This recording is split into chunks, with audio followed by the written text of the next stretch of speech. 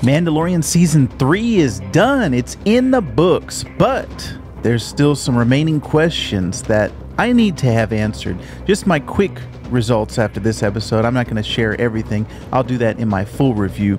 But my quick reaction right after seeing the finale of season 3 was, "Hmm, that'll do, pig. That'll do." I think there was a lot of character development, a lot of kind of tying up of the Mandalore plot of bringing all the Mandalorians back together and the Moff Gideon plot.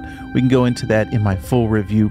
But I think there are still some lingering questions left that we did not get answered from this season.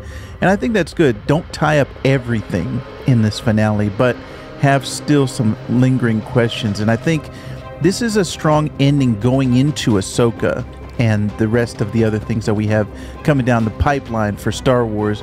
I think this was a nice finale. It was good.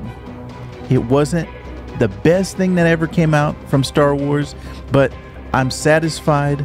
I'm I enjoyed the journey of season 3 and I'm looking forward to the continuing adventures of Din and Din Grogu.